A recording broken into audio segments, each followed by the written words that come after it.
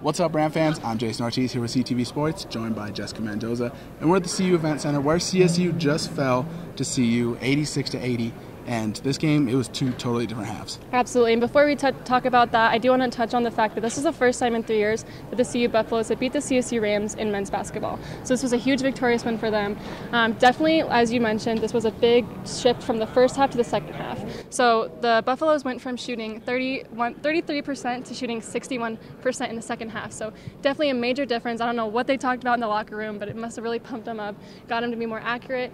And CSU's defense definitely dropped as the game went on. Um, I know Niko Medved was really disappointed in his, his team's defense. Um, personally, I thought they did really well in the beginning of the game. Um, they held uh, CU to a really low shooting percentage and um, overall just kind of stayed on their toes. But towards the end, they just really started to look like they were giving up when it was still a really close game. Yeah, and the defense wasn't as great in the second half as it was in the first half. But you got to give props to Adam Thistlewood. Mm-hmm. He manned up Lucas Siewert yep. all night long. Lucas Siewert made one three, and that was the one he banked in right at the beginning. Yeah. And the big the height disadvantage on that, you knew that was the game plan for CU. They wanted to get in, and they wanted to exploit the, the Rams' height disadvantage, and it worked in the second half. Absolutely. Uh, Thistlewood did do a good job covering um, Siewert, but Siewert still did end the day with 17 points, a very dominant first half, as you mentioned. Um, but I do want to touch on the freshmen. We usually see these freshmen score a high volume of points. They're usually leading scorers and kind of actually leaders on this court, um, as young and inexperienced as they are. But we definitely saw that hurt them today with the intensity in this room, all the pressure they probably felt from this huge rivalry. Uh, Thistlewood ended the day with six points, and um, Kendle Moore ended with three. So definitely not what we were expecting.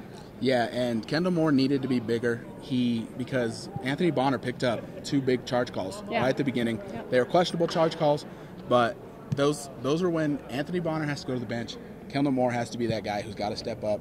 And I mean, two more games, they get Hyron Edwards, mm-hmm. so that's definitely going to help out with the depth. Yeah. But tonight it was yeah the freshmen they didn't play up to par tonight. Yeah, and speaking of Anthony Masonton Bonner, um, he didn't miss a shot until the second half. Super accurate in the first in the beginning of this game. Um, definitely made a big mistake though going into the end. Um, they got the ball with a couple minutes left and or a couple seconds left, went down and shot it and missed his three. So that was definitely a devastating way for him to end his pretty good performance of the night. Um, and then we definitely want to touch on Chris Martin. He had an amazing game tonight. Yeah, Chris Martin. It seemed like down the stretch, Chris Martin had to get the ball. Him and JD Paige, if they drove, they they were either getting fouled yep. and ones, or they were just getting buckets.